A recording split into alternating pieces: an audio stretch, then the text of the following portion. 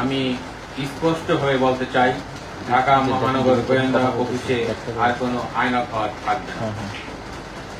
ডিবির কলঙ্কিত অধ্যায় শেষ করে সেটিকে পবিত্র করা হবে যেখানে মানুষ ন্যায় বিচার পাবে।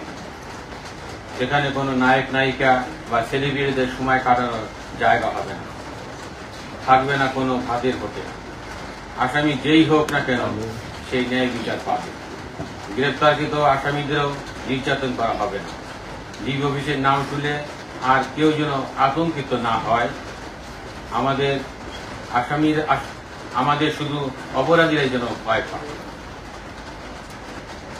আমি যতদিন ডিবি প্রধানের দায়িত্ব পালন করব, ন্যায় নীতি, পেশাদারিত্ব ও সততার মধ্য দিয়ে দায়িত্ব পালন করার চেষ্টা করব ইনশাল্লাহ যারা ভুক্তভোগী এবং অসহায়, তাদের কথা শুনব। তাদেরকে কীভাবে আইনগত সহযোগিতা করা যায় সেটি দেখব। ডিবিকে মানুষের আস্থা ও ভালোবাসার স্থান হিসেবে প্রতিষ্ঠিত করতে চাই। নতুন স্বাধীন বাংলাদেশে ডিবি অফিস হবে, ভুক্তভোগীদের ভরসা স্থল প্রিয় সাংবাদিক ভাই বোনেরা, ডিবি অফিসে কোন রকম অন্যায়, অবিচার ও দুর্নীতিকে প্রশ্রয় দেওয়া হবে না। ডিবিতে চৌকস দক্ষ ও পেশাদার কর্মকর্তাদের পদায়ন করা হয়েছে।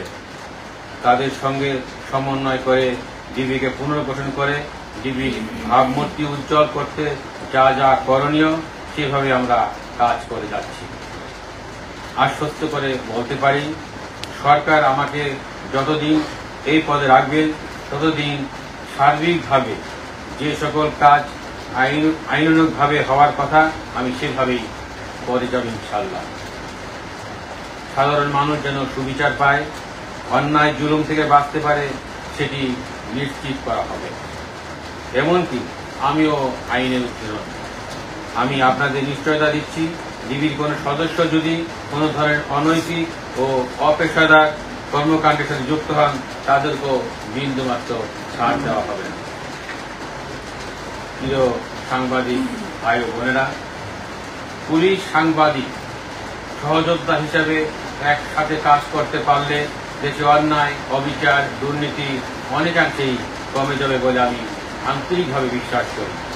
আমি ডিবিকে, দেশের জনগণের আস্থার জায়গা তৈরিতে আপনাদের সাংবাদিক ভাইদের সার্বিক সহযোগিতা কামনা করছি। আমি প্রিয় নগরবাসীর উদ্দেশ্যে বলতে চাই, কয়েকদিন পরেই হিন্দু সম্প্রদায়ের ধর্মাবলম্বীদের শারদীয় দুর্গাপূজা অনুষ্ঠিত হবে আট তারিখ থেকে তেরো তারিখ পর্যন্ত। পূজা উপলক্ষে সকলকে শারদীয় অগ্রিম শুভেচ্ছা জানাচ্ছি আমার ডিবির পক্ষ থেকে।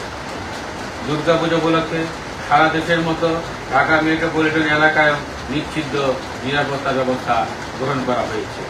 ঢাকা শহরের প্রতিটি পূজা মণ্ডপে নিরাপত্তায় এবং পূজা উৎসবে পুলিশের পাশাপাশি ডিবির টিম সাদা পোশাকে দায়িত্ব পালন করতে করবে যাতে উৎসবে মেতে উঠতে পারে প্রিয় নগরবাসী।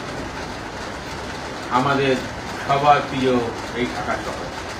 আপনাদের প্রতি আমার বিনীত অনুরোধ, কোনো ধরনের অপরাধমূলক কাজে কেউ যেন না নেয়, না অংশগ্রহণ করে। যে যেখানে আছে, সবাই আইন ও বিধি মেনে চলবে। ডিটেকটিভ ব্রাঞ্চ বা ডিবি সব সময় আপনাদের পাশে আছে। একই সাথে আমরা আপনাদেরও সহযোগিতা কামনা করি। আমাদের উপর আস্থা রাখুন। আমরা আমাদের সর্বোচ্চ পেশাদারিত্ব দিয়ে ঢাকা মহানগরীর আইন শৃঙ্খলা রক্ষায় চেষ্টা করে যাব।